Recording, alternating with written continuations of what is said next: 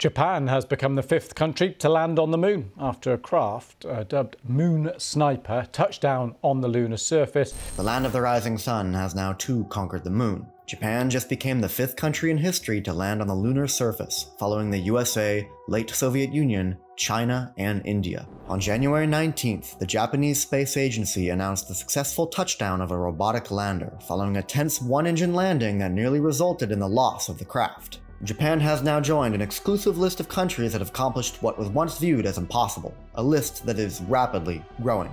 Not only did India land on the lunar South Pole as early as fall of 2023, but a long string of international commercial companies have been in a race to do the same. All of this within a startlingly short time frame, compared to the half century that has been since America performed its last crewed landing. Suddenly, the moon is attracting the attention of governments and companies around the world and we are just at the start of what's going to amount to a new space race, with significant implications for the people on Earth. Let's talk about why that's important and what it means for Japan and the world at large. But before we get into that, if you're hungry for keeping up with all the exciting developments in the new space economy, from where the money is flowing to the latest news, don't hesitate to subscribe to my free space industry newsletter, Launchpad, landing in your inbox once per week. Now, back to business. I'm in Tokyo, the eastern capital of the world's fourth largest economy and one of the most technologically ambitious countries on the planet. Robotics, materials science, high-end electronics, all of these are not only important aspects of the Japanese economy, but ingrained in their very culture. Japan has a long history of pursuing ambitious technical projects, and space is no exception, even though they aren't perfect, of course. To give you an idea, one of Japan's top construction companies wants to start building a real space elevator in 2025, which I've made a video on and link below if you're interested in learning more. But that ambition has carried on to the Japanese Space Agency, or JAXA, their version of NASA.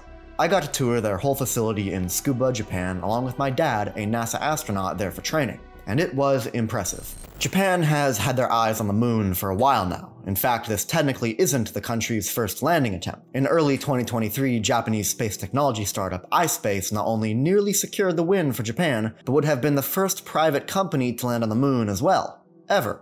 An amazing attempt, but ultimately doomed to failure as the crew lost contact with the probe and it was believed to have crashed on the moon. Naturally, there was a lot of pressure to see this JAXA robot nail the landing. Called SLIM, short for Smart Lander Investigating Moon, this lander carried multiple small rovers that were deployed to explore the surface in extreme detail, one of these probes is literally just a ball that rolls around, designed to take measurements of the regolith and better understand robotic mobility in a low-gravity environment. One of them took a picture of the lander here, showing that it did indeed land upside down. The spacecraft landed in Shioli Crater, a large impact left behind by an ancient asteroid strike. And while the probes themselves seem small, the data they gather will be useful and the precedents that they set cannot be understated. Japan has come swinging hard into a new space race between America and its allies and China and its allies. Both groups are in a tangled competition in everything from satellite constellations and space stations to near future ventures like asteroid mining and, of course, off world colonies. But if there's one thing that all of this makes clear, it's that space is no longer just the final frontier. It's now the new gold rush, Entire countries and international companies alike look to the moon and don't just see an inspiring object, but an investment in their own national security and a voice at the table. The moon is an untapped world, and just like the New World of the Americas, where the cultural, financial, and social impact of its original colonial settlers still shows its influence, whoever controls the moon first gets to write the rules, and now Japan is one of them.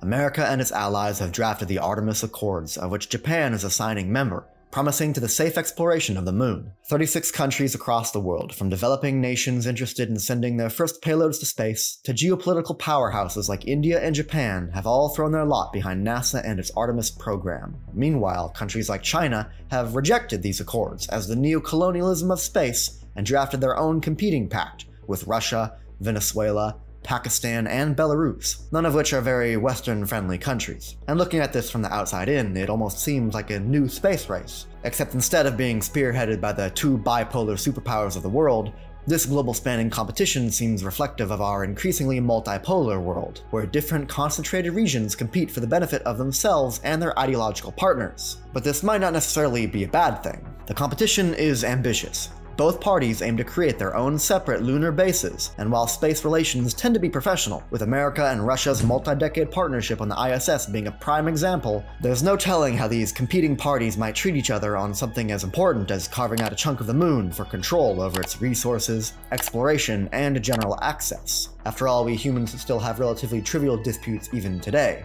even over land designated for international research like Antarctica, which seems big enough for everyone, right? Tell that to world governments. Why would the moon, with its uncountable, untapped resources, be any different? Companies want in on this action too, which is why in America alone, six separate companies are trying to privately land payload on the moon over the remainder of the decade. Everything from the massive SpaceX Starship and Blue Origin landers to the smaller robotic Odysseus lander from Intuitive Machines, which was successful all of them looking to ferry payload, harvest ice into liquid water for rocket fuel, or survey the ground for future mining spots. And that's to say nothing of the international companies as well. The moon has vast quantities of hydrogen and oxygen, which can be used to generate rocket fuel on site, alongside some rare earth elements like beryllium and lithium, and of course the coveted helium-3 isotope, long fabled to be the secret sauce for unlimited, clean fusion energy. Any of these resources, if utilized, will allow their users to expand their accomplishments even further. Refined rocket fuel can go on to power exploration to Mars and the geopolitical winds that that would bring. Off-world elements could create new interplanetary supply chains for some of Earth's most critical and contested materials, and if anyone can crack fusion with helium 3, well, they deserve a video all their own. But all this is to say that these missions aren't just expendable political wins done to say that they were. All these countries and companies are racing to the moon because they view it as an investment in their future control over everything from cutting edge space research to resource supply chains, all of which could have profound impacts on the lives of countless people on Earth because they view the taxpayer funding or commercial loans and contracts as worth the cost. Japan will not be the last. More countries and companies will follow over the coming years in an exponential flood, breaking new records each year. It wasn't that long ago when the number of launches in a single year numbered in the dozens, and now SpaceX alone has nearly breached 100 in 2023. Space exploration is beginning to become commoditized, routine, but certainly not boring, and the moon will follow the same fate.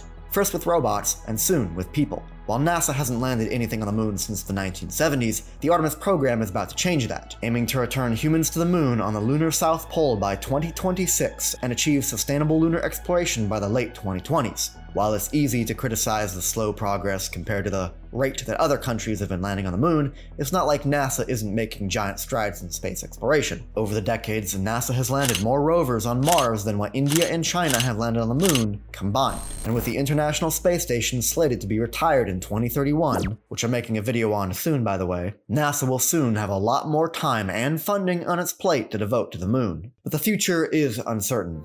While it's easy to think that the future is always going to be an upward line of progress, that trend isn't guaranteed. There's even historical examples of the opposite. The cancellation of the American Space Shuttle program in 2011 also came with a plethora of major budget cuts for NASA that gutted the Constellation program, which was the major push to return to the moon at the time, and primarily Mars as well. Limited manufacturing of the rockets for this program had already even started, Mars was once again pushed into the ambiguous near-term future. My father Don joined the astronaut corps in 1997, where he's still active to this day. But even he has a bitterly amusing story of being enthusiastically told by his managers that his class of astronauts would have been the first to visit Mars. That was almost 30 years ago. Mars has a sordid reputation of always being 20 to 30 years in the future, and the moon may suffer the same fate and internal budget cuts are just the tip of the iceberg. External disruptions to the status quo could also put these bold plans to return to the moon and Mars at risk once again.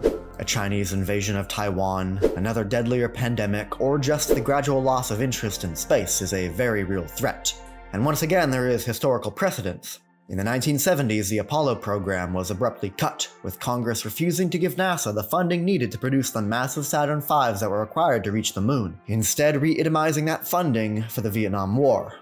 And keep in mind that this was at the height of the Cold War and the tail end of the space race, when politics very much dictated space as a cultural and national security issue, if it happened once, it could happen again. The Artemis program has already been delayed multiple times, as recently as this year, pushing the first crewed mission around the moon to 2025 and the first lander to 2026. And the longer these delays pile on, the tighter the spending becomes and the less happy Congress what comes with funding it. Will Artemis or future Mars missions be cancelled?